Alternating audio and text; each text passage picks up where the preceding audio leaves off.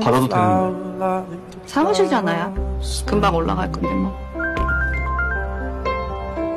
And I wanna kiss 나 가야겠다. tired to share 중요한 nights. I 일반 연애는 대표가 된 my 이번에 사업 증인 떨어지고 분양권 처분만 하면 같이 캐나다 가서 살려고.